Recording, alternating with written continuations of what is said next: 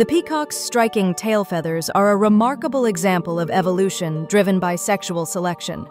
Unlike traits that help an animal survive, these extravagant displays primarily serve to attract mates. Male peacocks fan out their vibrant plumage and perform elaborate courtship rituals to catch the attention of females. The size, color, and symmetry of the tail are indicators of genetic health and vitality. Females tend to choose males with the most impressive displays, ensuring that their offspring inherit strong genes. Over generations, this preference has led to the development of increasingly ornate tails.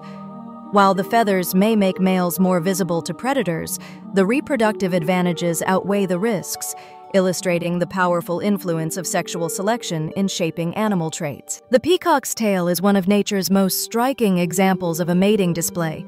Its vibrant colors and elaborate patterns are designed to attract potential mates, signaling the health and genetic fitness of the male.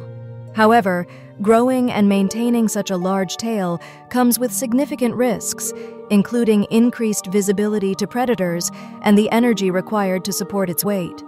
Despite these dangers, males with more impressive tails often achieve greater reproductive success, as females tend to choose mates based on these visual cues.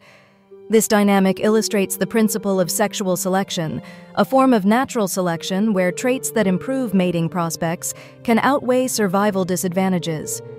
Ultimately, the peacock's tail demonstrates how evolutionary pressures can shape remarkable adaptations that balance both risk and reward in the pursuit of reproduction.